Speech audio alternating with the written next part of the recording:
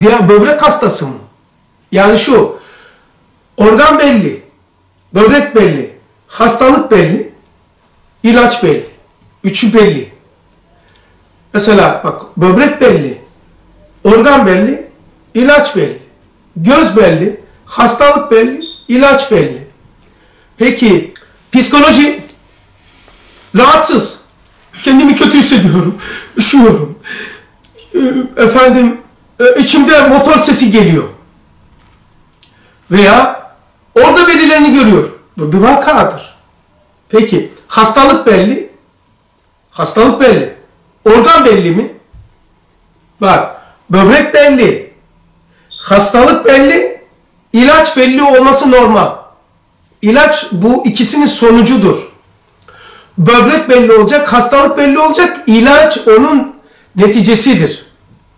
Hastalık yok, böbrek var. İlaç da bilinmez. Böbrek yok, yani bir organ yok. Hastalık var. Nereye göre ilaç vereceksin? Hastalık var. Peki, buna ilaç yapacağız. Bu hastalık bir böbreğe dayalı mı?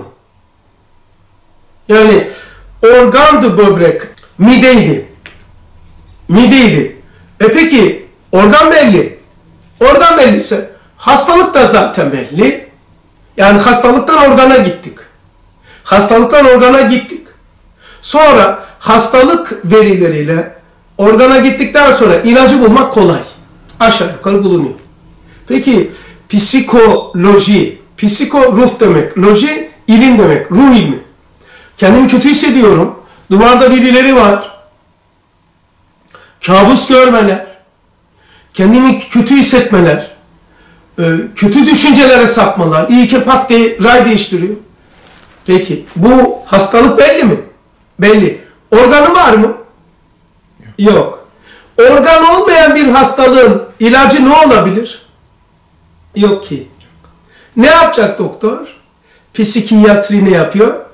Bu düşünceler ortaya çıkmasın, hayal kurmasın, hayal görmesin, zanları olmasın diye vücudun ürettiği güçlü olması için, ayakta dur durması için ürettiği enerjiyi e, bastırıyor. Baskın yapıyor. Ya topraklıyor veya bastırıyor. Ürettirmiyor. Vücutta uyuyor yatıyor. Çare mi bu? Hangi psikoloji ilaç, ilaç hastalığın kendisidir? Değildir. Peki ne yapıyor? Ee, baskın tutuyor o düşünceyi veya düşünceler imal edilmiyor. Mesela televizyonlar, cep telefonları, tabletler ne yapar?